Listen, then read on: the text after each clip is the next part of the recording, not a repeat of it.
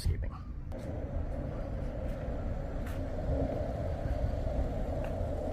Okay guys, I'm heading into one of my favorite stores in San Diego and it's not a very big one, but it's the one that I like most because it is geared towards aquascaping.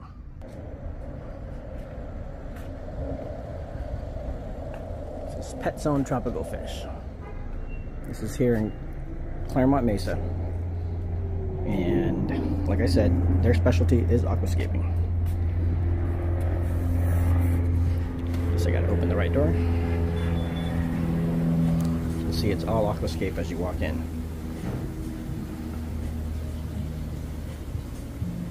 Here they show a bunch of different options. Different ideas. So it's like a smaller version of ADA. Or ADG in Texas or ADA in Japan.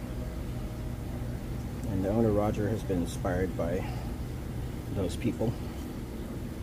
So he's passed on his knowledge and his passion to all the employees that work here.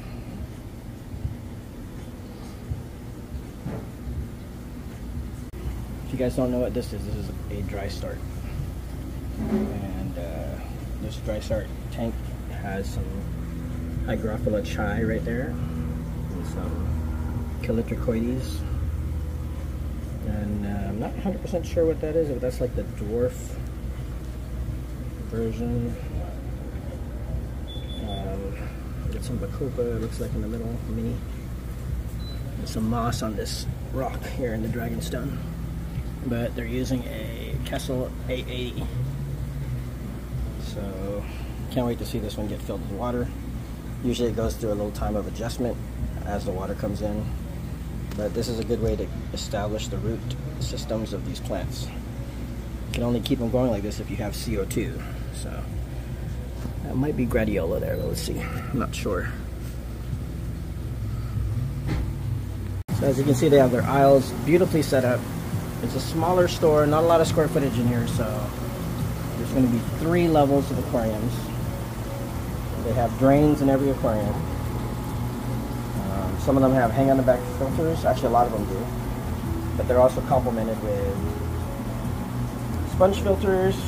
And this one here and a few of the other ones have these uh, power head driven sponge filters. I think that's just for clarifying the water. Maybe they move it around. But um, a lot of different species in this store. Bamboo shrimp, always nice to see. They're filter feeders. They use these feather-like appendages at the front to catch particles of food. And they don't bother fish, they don't bother smaller shrimp. And they tend to stay out in the open, so they're not as hidden as some of the other giant shrimp. There's some beautiful platinum angels. Look at that platinum. They have the blue hues in them. I think that's gorgeous. These are very nice shaped fish too, so you don't see a lot of deformed fish here. These are well bred. Scissortail rasboras. That's a fish that's kind of not seen a lot in the hobby anymore. Everybody wants rummy. Some of my favorite little invertebrates are the Geosesarma. These are vampire crabs. They're really popular now for uh, vivariums and paludariums. They walk around and they don't really damage the plants. There's one inside the cave there. Speaking of rummy nose, there's some nice rummy nose right there. They make a great school. They have their flag tails and a bright red nose. There's a couple of species that are called rummy nose tetras, but I think these are Hemigrammus bleheri.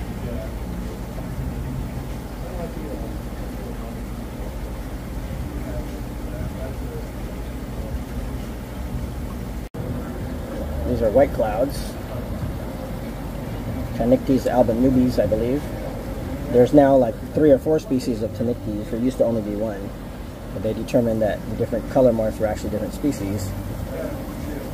And the sad thing is the common one, the Tanichthys albonubes, which is very well established in the hobby and very inexpensive, is actually almost, if not already extinct in the wild. So think about that before you treat them like they're nothing. Just because they're inexpensive doesn't mean they're not important. Easy to breed, easy to keep. They don't need heaters. They can take a wide range of temperatures. And they don't need special water. blue snakeskin gouramis. The bubble peeing guy. Those are good looking gouramis here. There's also a Elastoma in there, I think. That's a giant gourami, I don't know know. So if you're gonna buy one of these, make sure you have lots of room for this. Want a larger alternative to the rummy nose, the Denison barb is a really nice fish that can reach about four inches, has the same color pattern, but it also has a black stripe down the middle.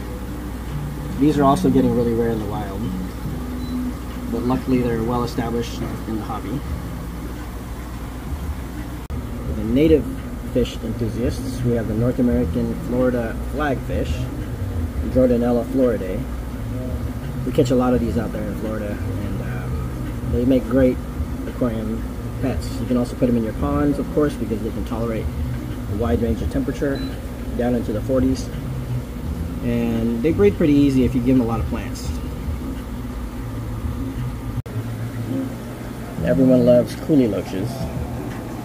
But coolie loaches don't like coming out, so they like to hide. So if you want to see them, you got to make sure you get lots of them. I'll be painting some coolie loaches. Hopefully you guys like it. So I'm looking at these emperor tetras, and these are fairly large ones. Real nice specimens, big males right there with the blue eyes, black stripe. But as I observed a little closer, then I noticed there was a different species in here. You can see that one right there in the back by the pipe. It's a different species of emperor tetra. So there's about five or six different fish that are considered emperor tetras. Of course, you got your staples, the longfin, albino, blue-eyed, bushy nose. There's bolder ones in here, and there's ones that tend to be more white. They come in that leucistic uh, white, ivory white sometimes, but these ones here are more of the gold ones. All look great, especially when they're really big. Do a great job eating algae, inexpensive and easy to keep. Get along with everything too. They've got a good selection of Corydoras here. These are albino Corydoras aeneas. And then they have these black coolie loaches, which are actually a different genus, I believe. They're not Pangio. But um, they're almost all black. Not really black, like a brownish, grayish brown.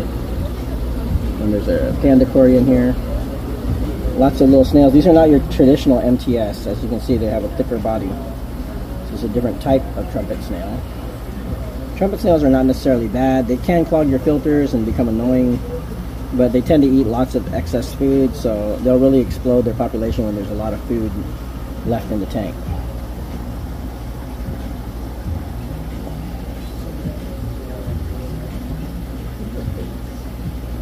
What store isn't complete without live bears? These are some of my favorite swordtails. These are brick red or bright orange swordtails. These are actually albino, so if you can see, they have red eyes. Very good looking. There's some males that are obvious in here, and then there's some females. This looks like a male that's transforming. So he's having a testicle. Females have a triangular bottom fin, the anal fin, and then the males, as you can see, they have that spiked anal fin, which is converted into a gonopodium. They have a nice selection of quality discus here. Good colors, good form, good shape, nice and healthy, thick bodies, bright eyes. They look great. Don't get into discus unless you're willing to do all the necessary things like have the proper water parameters, keep them warm, keep them in a large tank. It's interesting to have this like super sail tank, sail table. So we got some uh, marked down plants here and tissue cultures clearance tissue cultures. Those have really good prices there. And then these mosses and stuff in bags. So I might have to pick some of that up because I'm doing some tanks. So yeah, I'll pick a couple of these up. So let's see, I'll probably get some flame moss and maybe some java. We'll see. Uh, let's find some Christmas. How about Christmas? Christmas moss. So Christmas moss, it grows kind of like little Christmas trees. And flame moss has these little squiggly um, branches that shoot upward. So this used to be a big aquascape, but now it is a tank with a bunch of cultures in it. So they saw a lot of different types of plants here, and some of them are pretty rare. Uh, one of my favorites right there, Staurogyne. Um, that's the other Repens. And then there's Hygro Hygrophila pinnatifida, Alternanthera reineckii mini, Eleocharis acicularis mini, that's a great grass plant.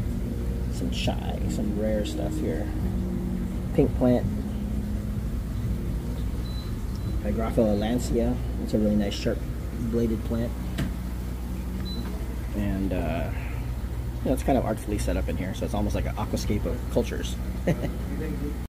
One thing that it's really important that this store is here is because they provide all the different types of aquascaping stone.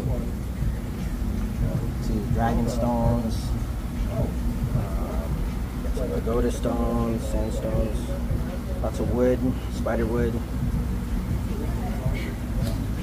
uh, some wolf stones. They even have some of the more expensive stones. There's obsidian, zebra stone, they call it. So there's all different kinds. And then, of course, they are one of the specialty dealers that carries all the UNS rimless tanks. But apart from just the UNS, they also have other brands. So they have these curved front ones here. Bending. Not sure what brand. What brand is that? Uh, Aqua World. Aqua World. Okay, so they have Aqua World, but uh, I think I really like the UNS tanks. I'm a little bit partial because I have half the UNS tanks at my home. And then I don't know what this is. Crab Aqua. so they have a bunch of different companies from Asia. Asia is the one that is the place that mostly makes the rimless tanks. But UNS is located in Los Angeles, and uh, I'll do a video up there, guys, and you guys can watch that later. They also have these duas, which are really nice. They had these at ADG. We saw some of those nice paludariums. Um, they love the terrarium style. This is a glass, like a front opening. You see the hinge here on the corner? The front opening type tank. Let me see if they have one set up. And of course, you can get your own PP guy. They even have a PP guy that has darker tone. Pleco caves, shrimp caves, discus breeders.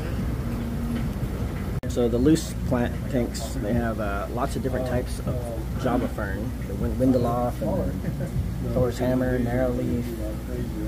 And you have broadleaf ferns, so different species, Bolbitis. And Nubius, all these are Nubius plants. There's a lot of them, see. Real hardy plants, big broad leaves, waxy leaves. And then bunch plants, different bunch plants. Cyperus helferi, I want to check out this festival. Pendifolia. And uh, Cryptocoryne. All different types. Balance, one of my favorite. Wentii, standard. Lutea, another standard. Lobelia cardinalis. Uh, Hygrophila difformis, that's the wisteria.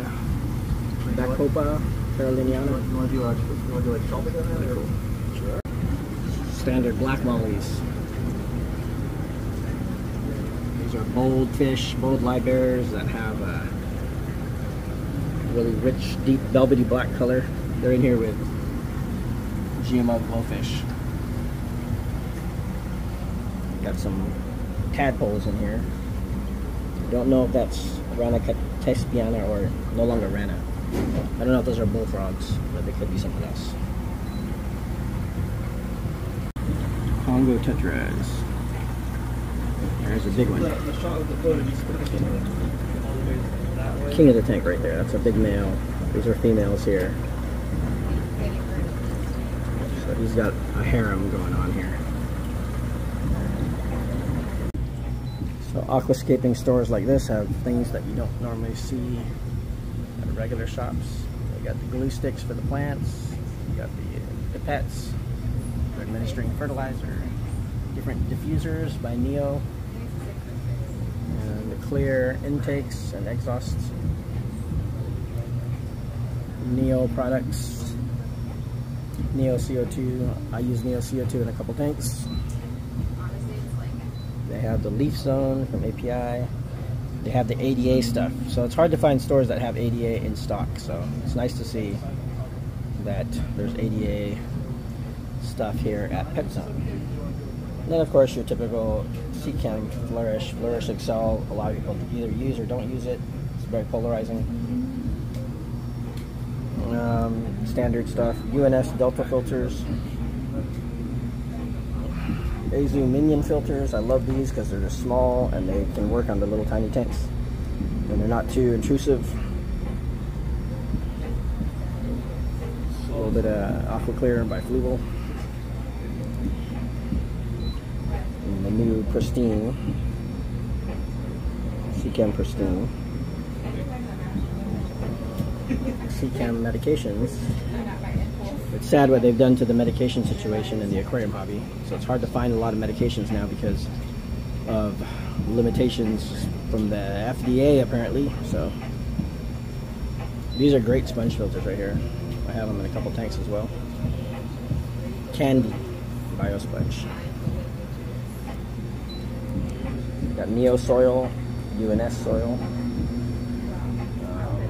UNS bigger bags of soil over here. And right now they're out, but they usually have the ADA soil. So here's another nature soil right here.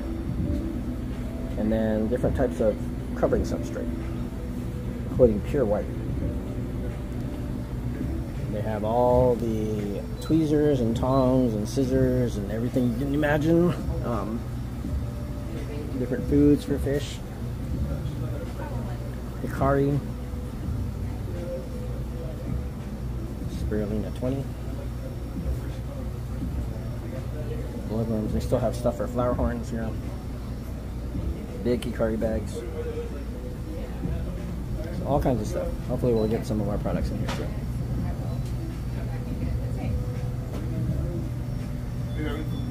For all you shrimp enthusiasts, we have a nice selection of shrimp here.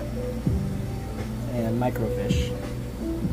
Like. So these are there's blue really, Sunkist, blue velvet, fire reds.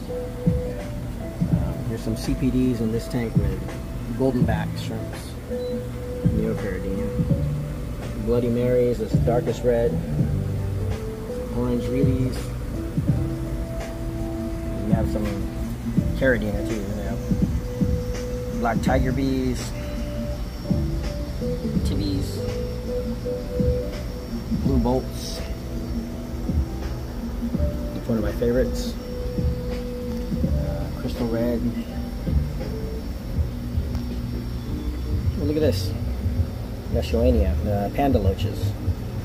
Not too many people do well with those, so you gotta really set your parameters right to keep these guys alive. So there's a slightly mature one there, and there's a juvenile which looks so attractive, the small ones, the black and white.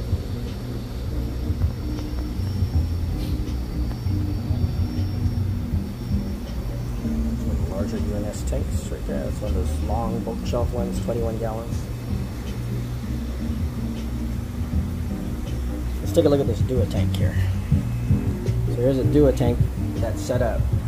So we saw one of these at ADG. So here's one set up here. So it has the little hinge on it, so you can open it. And then it has a backdrop in there. You can put all your plants on it.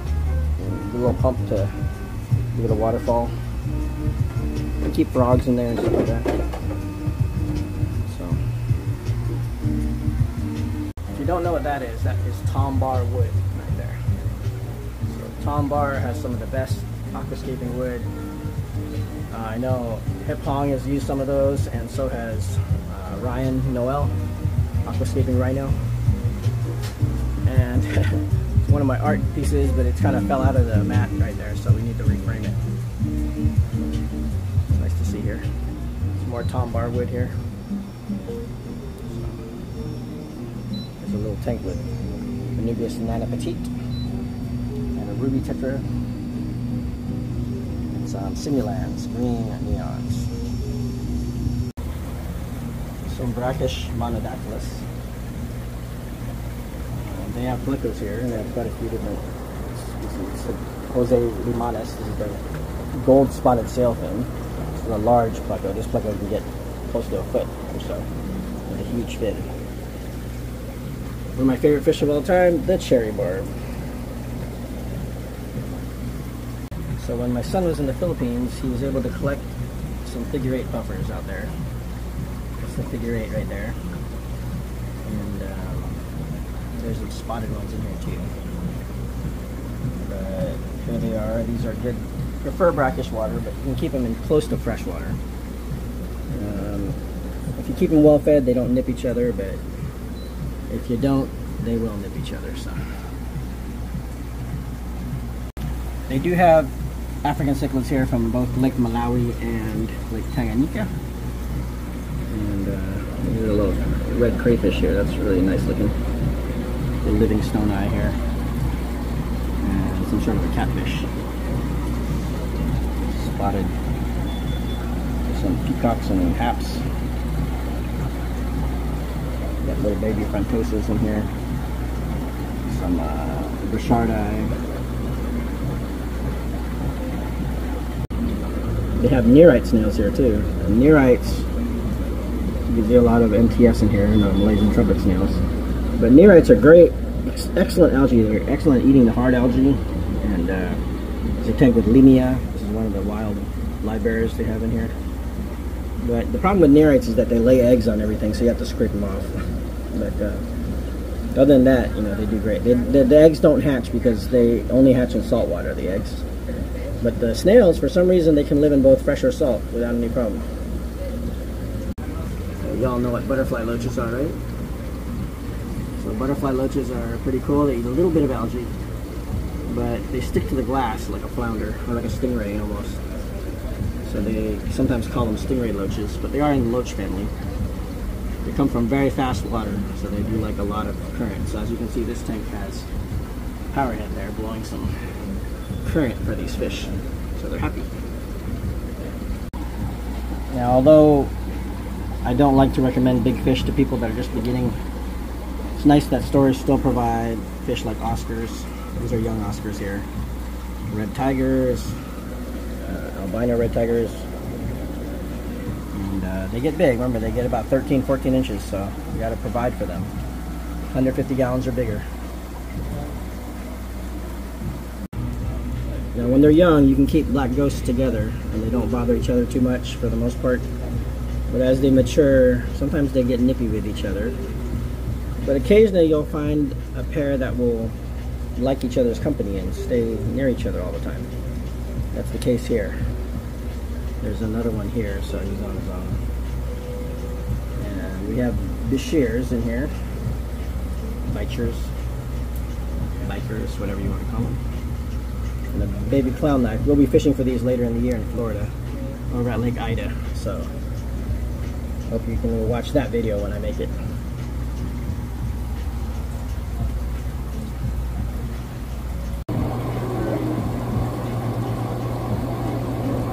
You guys don't know about peacock gudgeons.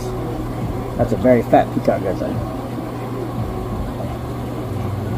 Very plump, probably full of eggs.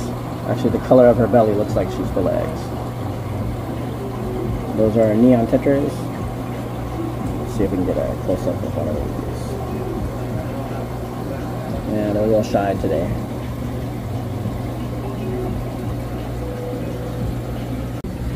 This is what I call the aquarium staple. Aliatus cori, Aeneas green, and Aeneas albino. Nowadays you can also find sterbais in the common mixes. And sometimes pandas.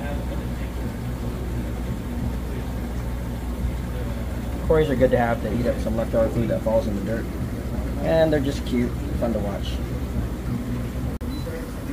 You guys familiar with a Chinese hyphen shark?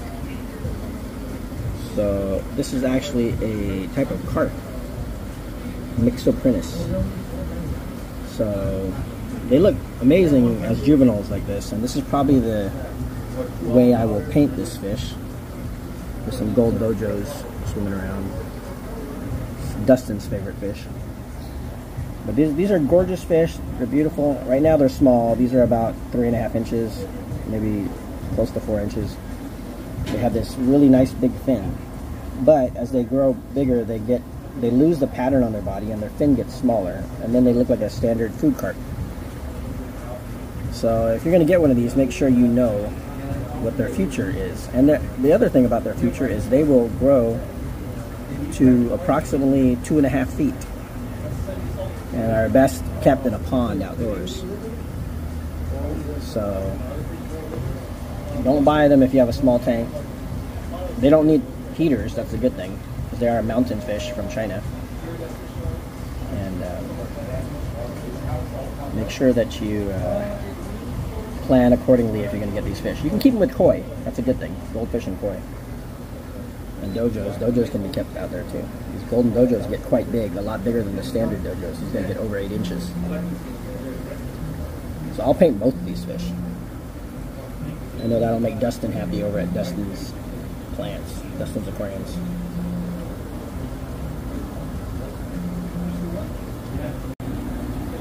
So here's your typical Peckoltia.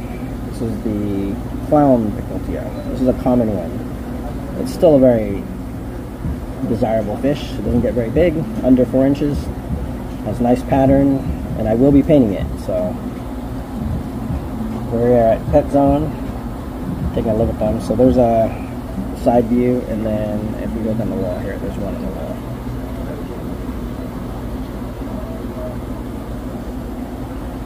So this fish is a South American native, I believe Colombia. Um, decent algae eater. Fairly peaceful, doesn't get very big, like I said. There's another one right here. There's up one right there. See the pattern. A little bit nicer. And it's key to look at the eyes when you're painting stuff. You want to emulate the eyes as best as you can.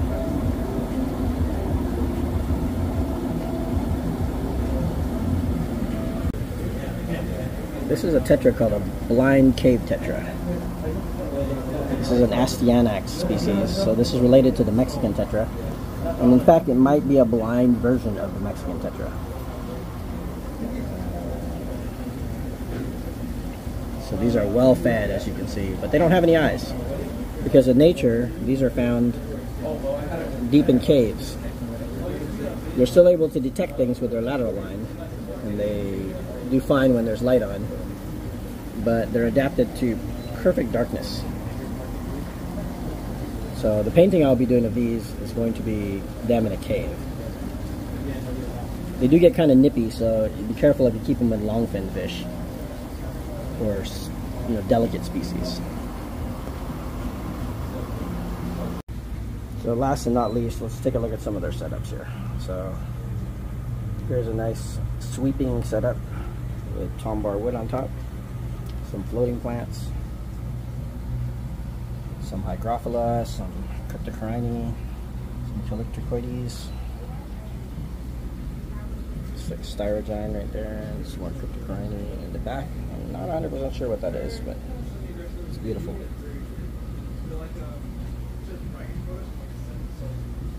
Some floating plants.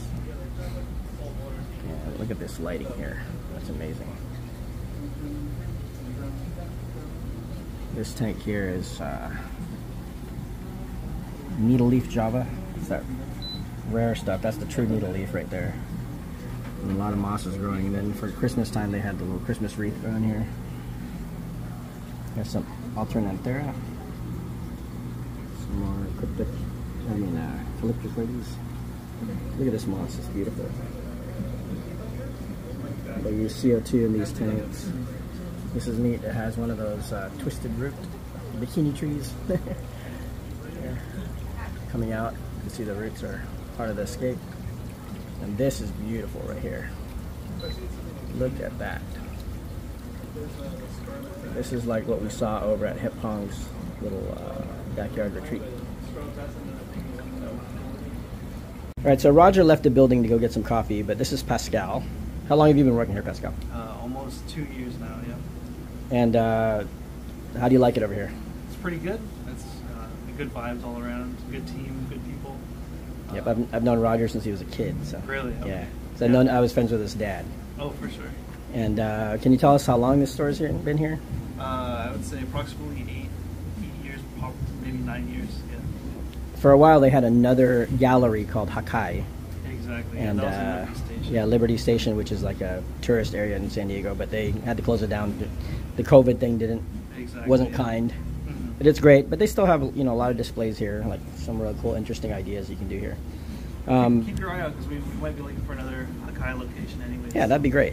You know, um, and I've seen Roger at a few of the aquashellas that I that I uh, host, and uh, so it's nice to see him out there, both for the flower horns and for the plants. Oh, definitely, yeah. Um, now, what's your favorite stuff?